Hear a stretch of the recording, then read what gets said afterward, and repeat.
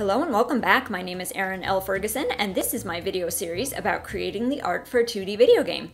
Today's episode is going to be another landscape type painting, and these are a little bit rare on my channel, not because I don't like to do them, because I actually really do, but most of the art that we need to make this game tends to be the more flat, 2D sort of variety, so that's mostly what I do. I do a lot of characters, I do a lot of animals, I do a lot of props and interior scenes, but every now and then we actually need like a full sort of painted background. I did do one for our title screen a while back. You may remember that bit uh, that video if you've been watching for a while. So I did do like a full um, painted background for that. And then today I'm doing a little bit of a background for our fishing mini game. So in our game, I think I've mentioned before, but one of the activities that you can do is fishing. And so I've been trying to work ahead a little bit, and this week I've been working on a lot of the assets and things we're going to need uh, for you to be able to actually go fishing in our game. So earlier this week I made like the fishing pole, and I made a few of the uh, fish you'll be able to catch, and icons and everything to represent all of those. But we thought it would be cool if fishing was actually its own separate little mini game. Now we haven't actually nailed down what that's going to look like yet, so this background is subject to change, but I thought we would need some kind of a backdrop for uh, the fishing mini game. And I thought, well, an underwater scene was probably a pretty safe choice for that. So that's what I'm doing here today. Uh, again, this is subject to change. If we decide we're doing something else with the mini game, we may not use this or we may use it somewhere else. But I figured we might as well have it done and it didn't take that long to do, so why not? And in the game, you'll be able to go fishing in, you know, a number of places. There will be ponds, there will be rivers, there's the ocean, and you will be able to catch different fish in different places. So there will be, you know, freshwater fish that you can catch in like the rivers and ponds, and then saltwater fish that you can catch out in the ocean. And potentially there might even be some special fish that you can only catch like deep sea fishing. So we have a character um, who can take your can take the player character out on a boat and you can go you know deep sea fishing with him. So there might be some more rare things you can catch there or things that your peasants can catch for you you know if they go out on their boats and go fishing. And um, they'll be able to bring in uh, uh, fish that way too so I was debating, you know, what kind of underwater background I could do because I thought, well, it didn't really make sense if I had like a coral reef, but your character is actually fishing in the river. And so I decided to do more of a riverbed sort of scene. I feel like this could apply almost anywhere. The bottom of the ocean kind of looks like this, the bottom of a river kind of looks like this, so it kind of, we cover all our bases that way. And it also helped that before I even started this piece, you know, I went on Google, went on Pinterest, and I just went on a reference dive, you know, just started looking for images of riverbeds so I would have something to work from. And the colors of a lot of these photographs were absolutely spot on perfect. So if you've been following this channel for a while, you know that I use, I picked out a color palette at the very beginning when we started working on this project, and I stick to it pretty closely so that the game has a very cohesive sort of look. And our color palette has a lot of greens and blues in it. And when I looked at these photos of these uh, of the river, uh, all of these riverbeds, uh, the they just the, the colors were fantastic. You know, the most beautiful greens and blues and yellows you've ever seen in your life. And so I was basically very easily able to just use the colors we already had, and I didn't have to fudge anything. And so it should re look really good next to all of our other assets. One thing I did notice though as I was wrapping up this piece is that I think I, I leaned a little bit too heavily towards the greens and yellows. Like, I, I absolutely love it. Like, I love that color but I feel like it gives this underwater scene a kind of mysterious quality, and I'm not sure if that's exactly what I was going for, because like I said, this will be a mini game, so I thought maybe it should have a bit more of a cheery vibe. So at the very, very end, one of the very last things I do is I basically add like a photo filter on top just to make it a little more blue, and that's where I think it really kind of came together and it stopped looking like I mean, it just looked kind of eerie, and I didn't really want that. And then at the end, I feel like it looks a little more cheerful. So it's amazing how just like a little bit of a color tint can really go a long way toward changing the whole mood of a piece.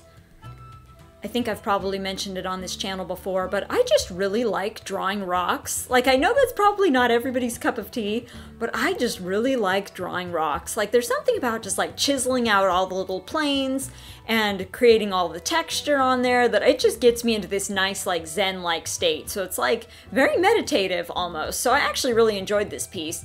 And because it is something I enjoy doing, it takes, I mean, I think this whole piece, start to finish, I mean, it took a few hours, but that's you know, that's really not that much. It's no more time than I spend on some of the sprites for a game. Um, so I think it was time well spent. So like I mentioned before, I've been working on just a lot of fishing stuff this last week. Of course, like I said before, I made like the fishing pole, I made a few different kinds of fish just for kind of proof of concept at this point, and then we'll add more once we get it up and running. I also made um, sailboats earlier, and I did actually get footage of that, so I might have to share that. But we thought, you know, for our, our coastal city, it's supposed to be like a bustling seaport, but it really it lacks the bustling quality if you don't have like ships coming and going. So I did make like a big sailboat. So other than that, I've actually been doing a lot of writing lately for our game, and that's one thing that you can't really record and share, but at least I can give you a brief over overview. I mean, I guess I could record it and share it, but I think that would be um, tedious to say the least, and not at all entertaining. But one thing, of course, we've got to put in, you've got to plug in all of the characters, their their routines, their schedules. So I've been working on that. And once those are in, it'll be easier to write the dialogue because once you know where a character is and who they're with, it's a lot easier to write dialogue for them. So I've been putting in as many of those as I, uh, as many of those characters as I can. Um, I've finished most of One Kingdom at this point, and hopefully I'll get that wrapped up here fairly shortly. But other than that, we're also starting to work on cutscenes because, of course, a lot of the plot of a game is communicated through cutscenes, and we don't have any yet. Um, so the one that we're working on right off the bat, again, is kind of a proof of concept. We're going to be doing the opening cutscene. So basically, uh, you know, it's like the tutorial cutscene when you first start. You first start the game and you start learning the ropes. And so I was kind of scripting that out so we'd have some, you know, bones to work off of. And so I spent a few days on that. And that was actually a little bit trickier, I think, than I thought it was going to be. Um, not the writing stuff per se. I mean, I know how to write. Like I can, I can, I can come up with a script. But I, the hard part was making the tutorial bits sound somewhat natural.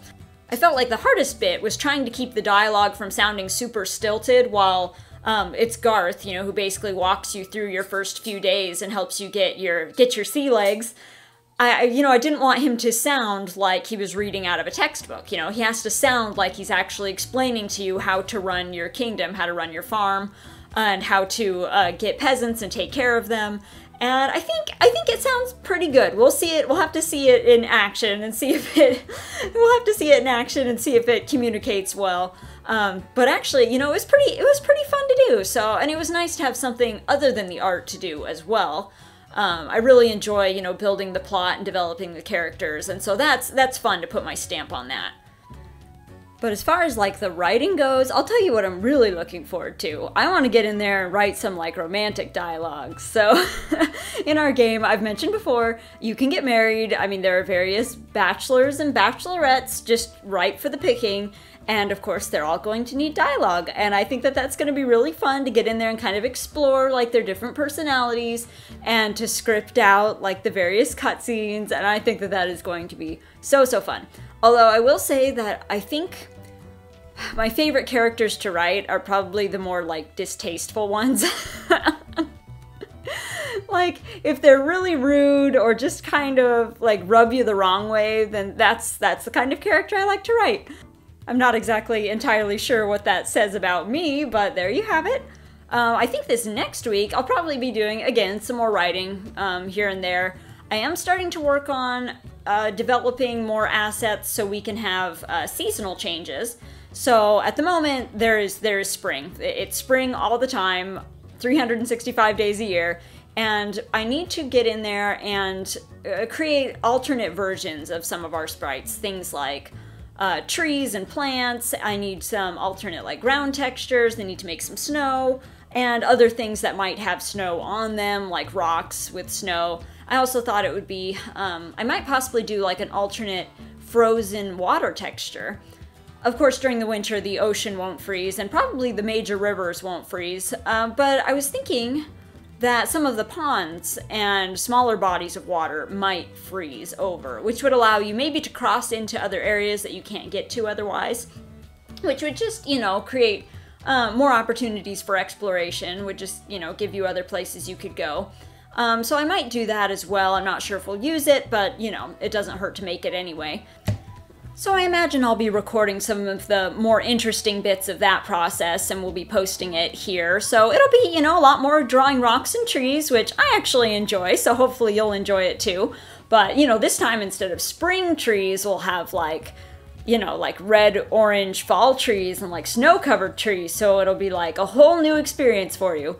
So this piece is just about finished, so here in a second I'll be panning across it so you can see all of the nitty gritty details, but I appreciate you joining me for another video, and I will be back probably next week with another one, and so until then, enjoy the rest of your week, and I will see you next time.